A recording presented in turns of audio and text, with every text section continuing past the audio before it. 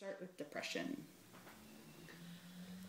Um, well, people with depression um, tend to isolate themselves, and you know, especially around the holiday season, it's really difficult for people because it's all about friends and family and and the need to socialize.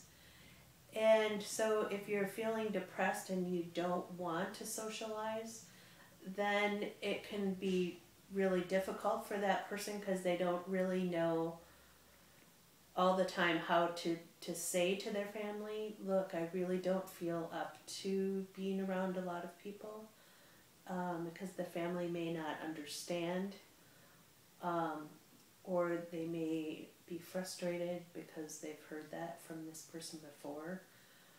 Um, you know, they don't really understand all that's going on. So it can be a, a time that's very lonely for people and they may not know how to reach out and say, look, you know, I really want to get out of this space, but I don't know how. Mm-hmm. Um, and sometimes the the medications help people with that.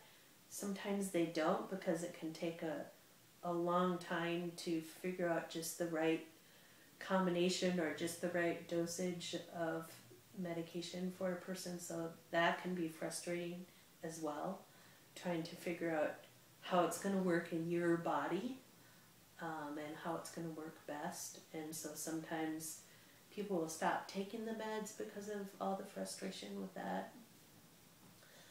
Um, so it's a lot of times just a really lonely time um, for people with depression um, because of all the stuff that's going on.